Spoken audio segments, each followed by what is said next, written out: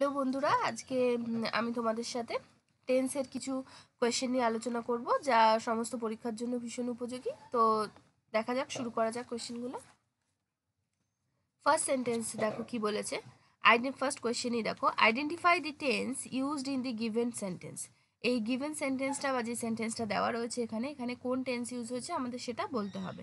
My father shop has been sold out has been sold out তো এখানে আমরা দেখেই বুঝতে পারছি হ্যাভ হ্যাজ যখনই থাকে, তারপর থার্ড ফর্ম রয়েছে হ্যাজ বিন সোল্ড আউট যখনই রয়েছে প্রেজেন্ট পারফেক্ট টেন্স হবে, তাই তো? হ্যাজ বিন সোল্ড আউট হচ্ছে প্রেজেন্ট পারফেক্ট টেন্স হবে।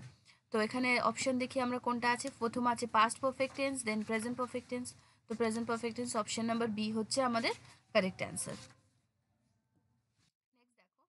এটাও আইডেন্টিফাই করতে বলেছে I am visiting her now I subject am রয়েছে বিভার্ব দেন ভিজিটের সাথে আইএনজি অ্যাড হয়েছে দেন অবজেক্ট তো আমরা জানি কি এই ফরম্যাটটা কখন হয়? I plus am is are plus ING ফরম্যাটটা আমরা জানি কি প্রেজেন্ট কন্টিনিউয়াসের জন্য হয়, তাই তো? তো এখানে অপশনে দেখি কোনটা কি আছে? অপশন নাম্বার এতে আছে present indefinite future perfect continuous future perfect tense present continuous tense so option number ডিটা হচ্ছে প্রেজেন্ট কন্টিনিউয়াস টেন্স আমরা বলতে পারি। নেক্সট দেখো choose the future perfect tense form of given sentence এখানে একটা সেন্টেন্স দিয়ে দিয়েছি। He has a lot of experience এটার আমাদের কি বানাতে হবে? Future perfect tense future perfect tense বানাতে হবে। ফিউচার পারফেক্ট টেন্স কেমন হয়? ফিউচার পারফেক্ট টেন্স আমরা জানি কি? ফিউচারের উইল বা শ্যাল থাকবে আর পারফেক্টের জন্য কি থাকবে? হ্যাভ থাকবে, তাই তো? তো এখানে প্রথমটাতে দেখি অপশন টেস্ট তো প্রথমটাতে দেখছি উইল বা শ্যাল কিছুই নেই। তো এটা আমরা নেব না। তো last one B number option B number দেখতে পাচ্ছি। He will have a lot of experience next one দেখতে পাচ্ছি। He will have had a lot of experience he will be having ING রয়েছে মানে এটা ফিউচার কন্টিনিউয়াস এটাও future কন্টিনিউয়াসে করব না। হ্যাভ উইল হ্যাভ হ্যাডেরও দরকার নেই। ফিউচার পারফেক্ট যদি হয়, তাহলে আমরা বলতে পারি he will have a lot of he will have a lot of experience তাই তো? তো সিক্সটি ফোর নাম্বার আমরা বলতে পারি। He will have he has বলেছে, তাহলে হি উইল হ্যাভ আচ্ছা এখানে একটা মিস্টেক আছে, দেখো, এখানে উইল হ্যাভ রয়েছে বাট এখানে কি কোনো থার্ড ফর্ম রয়েছে? আমরা জানি কি ফিউচার পারফেক্টের পর কিন্তু কোনো একটা থার্ড ফর্ম থাকবে, তাই তো? তো এখানে কিন্তু থার্ড ফর্মটা নেই। তো আমরা এখানে বলতে পারি he will have had a lot of experience future perfect tense এটাই হবে, ঠিক আছে? ফিউচারের জন্য উইল ইউজ হয়েছে হ্যাভ ইউজ হয়েছে দেন হ্যাভের পর হ্যাজ হচ্ছে হ্যাজের থার্ড ফর্ম হচ্ছে হ্যাড তার জন্য আমরা অপশন নাম্বার ডি সিটা হচ্ছে correct answer I probably dash left I probably dash left probably মানে হয়তো I probably dash left I probably should have left আমার উচিত চলে যাওয়া বা আমার মনে হচ্ছে এখন চলে যাওয়া উচিত, তাই তো? তো উচিতার্থে যখনই হয় কোনো সেন্টেন্সটা তখন আমরা শুড বলতে পারি। I probably should have left এখানে লেফট দেখেও বুঝতে পারছি লিভের থার্ড ফর্ম রয়েছে লেফট উইলের পর কিন্তু লেফট হয় না হ্যাজের পর লেফট হয়। আই প্রবাবলি হ্যাজ লেফট আয়ের সাথে হ্যাজ যায় না, তাই তো? তার জন্য এটা হলো না উইলের পর লেফট হবে না, আর হ্যাভিং লেফটও হয় না। তো I probably should have left next দেখো I day dash here for a month now for a month now প্রায় এক মাস হয়ে গেল এখানেই রয়েছে। তাহলে আমি কি বলতে পারি? সিক্সটি সিক্স নাম্বারটা। I have been here for a month now মানে হ্যাভ বিন হ্যাজ বিন এরকম আমরা বলতে পারি, তাই তো? তাহলে আমরা এখানে কি বলতে পারি? I have been here for a month now had been here মানে পাস্ট পারফেক্ট আমরা বলব না উড হ্যাভ বিনও বলব না। হ্যাভ বিন মানে আমরা আমি রয়েছি এখনও কন্টিনিউ করছি, তাই তো? I have been here for a month now নেক্সটটা দেখো। Identify the tense used in the underline phrase এবার এখানে আন্ডারলাইন ফ্রেজটার আন্ডারলাইনটা তোমরা দেখতে পাচ্ছ না, কিন্তু আমি বলে দিচ্ছি কোন পার্টটা আন্ডারলাইন হবে? এই পার্টটা হ্যাড বিন ক্লোজড ঠিক আছে? হ্যাড বিন ক্লোজড তো by the time I was inform যতক্ষণে আমাকে ইনফর্ম করা হয়েছিল the registrations had been closed যতক্ষণে আমাকে ইনফর্ম করা হয়েছিল এই বিষয়টার জন্য ততক্ষণে কি হয়েছিল? রেজিস্ট্রেশনটা শেষ হয়ে গেছিল বা রেজিস্ট্রেশনটা কমপ্লিট হয়ে গেছিল। তো এই যে পার্টটুকু আন্ডারলাইন পার্টটুকু আমি করে দিয়েছি হ্যাড বিন ক্লোজড এই আন্ডারলাইন পার্টটুকু কোন টেন্সে আমাদের সেটা আইডেন্টিফাই করতে হবে। আমরা দেখতে পাচ্ছি হ্যাড রয়েছে বিন রয়েছে, তারপর থার্ড ফর্ম রয়েছে। তো হ্যাভ হ্যাজ হ্যাড থাকলেই আমরা জানি কি? পারফেক্ট টেন্স হ্যাভ আর হ্যাজ থাকলে প্রেজেন্ট পারফেক্ট কিন্তু এখানে রয়েছে হ্যাড তাই তো? তাহলে এটা আমরা জানি কি? পাস্ট পারফেক্ট টেন্স হবে। তাহলে option number A past perfect tense ঠিক আছে? নেক্সট ওয়ান দেখো চুজ দি কারেক্ট অ্যান্সার কোন অ্যান্সারটা কারেক্ট হবে, তাই তো?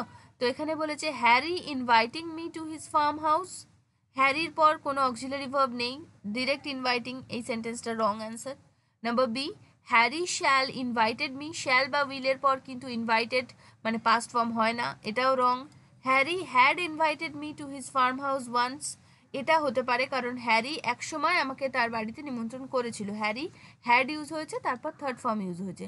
সো এই সেন্টেন্সটা correct R Harry has been inviting me to his farm house once has been inviting মানে যেটা কন্টিনিউ কোর্ট চলছে, ঠিক আছে? যেটা চলছে, সেখানে ওয়ান্স এটার সাথে এই পোর্শনটার কিন্তু কোনো মিল থাকছে না, তো এই সেন্টেন্সটাও হবে না। তো চুজ দি কারেক্ট অ্যান্সারের এখানে কোন সেন্টেন্সটা কারেক্ট আছে? অপশন নাম্বার সিটা কিন্তু correct answer Harry had invited me to his farm house once ঠিক আছে? হ্যারি একসময় তার ফার্ম হাউসে আমাকে ইনভিটেশন দিয়েছিল। নেক্সট দেখো has the itinerary itinerary dash yet ইটিনারির মিনিংটা হচ্ছে গিয়ে যখন কোনো কেউ যারা ট্রাভেল করে তারা এই ওয়ার্ডটার সাথে পরিচিত। ইটিনারি হচ্ছে এমন একটা প্লেস বা এমন একটা জিনিস যেটার থেকে হচ্ছে কি আমরা দোকান বলতে পারো বা হোটেল বলতে পারো লজ বলতে পারো ওয়ান কাইন্ড অফ যেখানে রাস্তায় আমরা ট্রাভেল করার সময় যেখান থেকে আমরা রুট সম্পর্কে জানতে পারি, রাস্তা ফার্দার কতটা যাব, যেখান থেকে আমরা ফুড যেখান থেকে অনেক সময় ফুডও প্রোভাইড করা হয়, থাকার একটু শেল্টার পাওয়া যায়, তো সেই সব জায়গাগুলোকে ইটিনারি বলে, ঠিক আছে? যেখান থেকে রুট ম্যাপ ম্যাপ বা খাবার সংক্রান্ত ট্রাভেল সংক্রান্ত অনেক ইনফরমেশন আমরা পাই। তো has the itinerary dash yet has দেখেই আমরা বুঝতে পারছি হ্যাজ দেখে কোয়েশ্চেনটা যে প্রেজেন্ট পারফেক্টে হবে। আর ইয়েটটাও একটা ক্লু ওয়ার্ড প্রেজেন্ট পারফেক্টের আমরা জানি। তো has the itinerary been deciding been decided decided be decided তো কোন অপশনটা হয়? তো আমরা দেখতে পাচ্ছি হ্যাজ বিন ডিসাইডেড বলতে পারি has the itinerary been decided yet মানে কোন রুটে আমরা যাব? এখানে হচ্ছে কিন্তু কোন রুট বা কোন ম্যাপ ধরে আমরা এগোবো বা ট্রাভেল করব সেই জিনিসটার কথা বলছে। তার জন্য এখানে কোয়েশ্চেন করেছে সেটা কি কোন রুট বা কোন পথে আমরা এগোবো সেটা কি এখনও ডিসাইড হয়েছে? এরকম একটা কোয়েশ্চেন তো has the itinerary being decided yet এখন কি ডিসাইড হয়েছে? তো হ্যাজ এর পর আমরা জানি থার্ড ফর্ম হয়, আর প্রেজেন্ট পারফেক্ট টেন্সে বিন হয়েছে। তো has the itinerary been decided yet তো অপশন নাম্বার বিটা হচ্ছে correct answer option number next one দেখো। ইট ইজ আ ট্রেডিশন এটা একটা ট্রেডিশন বা এটা একটা আচার that ever since ever since এই ওয়ার্ডটা শুনেই কিছু একটা মনে হচ্ছে। That ever since that has আর ব্র্যাকেটে দেখো এখানে সেলিব্রেট থাকার কথা বাট এখানে ব্র্যাকেটে নেই সেই ওয়ার্ডটা it is a tradition that it is a tradition that have been celebrated had been celebrated has been celebrated R has been celebrating তো আমরা জানি কি? যে ইট ইজ আ ট্রেডিশন এখানে প্রেজেন্ট টেন্সেই বলছে, তো প্রেজেন্ট পারফেক্টই হবে। সো এখানে অপশনগুলো দেখো। Had been celebrated past past টেন্সে আছে, তো পাস্টের এটা নেওয়ার দরকার নেই। আমাদের কি ইজ দেখে বুঝতে পারছি যে এটা প্রেজেন্টেই হবে। প্রেজেন্ট পারফেক্টের কোন ফর্মটায় হবে সেটা আমাদের চুজ করতে হবে, ঠিক আছে? আর আমরা জানি কি হ্যাজ বিন সেলিব্রেটিং এখন সেলিব্রেট হচ্ছে এরকমও বলা নেই। তো হ্যাভ বিন সেলিব্রেটেড বলব না হ্যাজ বিন সেলিব্রেটেড বলব? যদি কোনো ট্র্যাডিশনাল বা এমন কিছু ট্র্যাডিশনের কথা বলে, তখন কিন্তু আমরা এটাকে প্লুরাল সেন্সে দিই না, তাই তো? আমরা এটাকে সিঙ্গুলার সেন্সেই রাখি। তার জন্য আমরা কি বলতে পারি? হ্যাভটা কিন্তু তার জন্য আমরা বলতে পারব না। ট্র্যাডিশনটা এমন একটা জিনিস সেটাকে আমরা হ্যাজ বিন অর্থেই বলতে পারি বা সিঙ্গুলার হিসেবেই রাখতে পারি। It is it is a tradition that has been celebrated ever since তখন থেকে চলে আসছে। তো ইট ইজ আ ট্র্যাডিশন এটা এমন একটা tradition that has been celebrated ever since তো অপশন নাম্বার সিটা হচ্ছে কারেক্ট অ্যান্সার দেখো Jackson and Kate dash all this time Jackson and Kate dash all this time Jackson and Kate have to collaborate collaborate করতে হবে সমস্ত টাইমের জন্য, এরকম বলছে। তো এটা তো ঠিক লাগছে না। Collaborate all this time collaborates এটাও হবে না বিকজ এখানে প্লুরাল আছে।